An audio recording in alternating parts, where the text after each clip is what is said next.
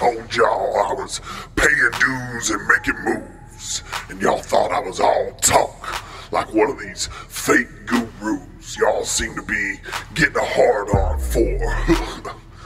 well, I'm not like Grant Cardone, Mike Rando, handing out a bunch of fluff and bullshit to sell you some fake course or service to change your life.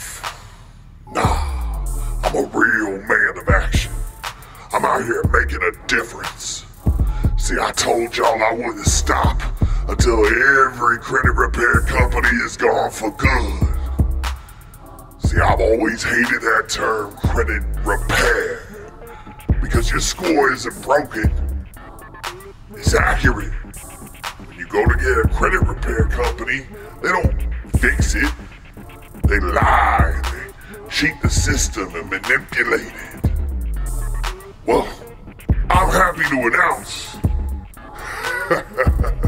I've finally put in motion the very actions that will stop these credit repair companies from making any money by breaking the law the way they do.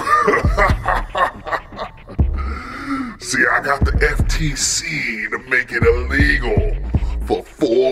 for-profit credit repair companies to charge fees to consumers until six months after the credit repair company has provided all of the promised benefits.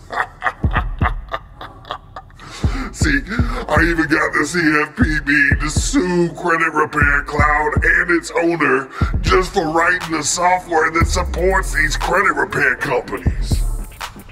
The plan is working.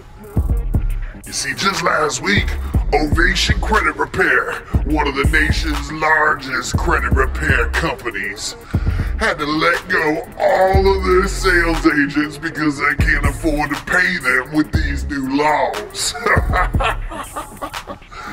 Lexington Law won't be far behind them, and when that happens, all you credit criminals will have nowhere left to turn to hide your debts, and you'll either have to pay up or serve your time.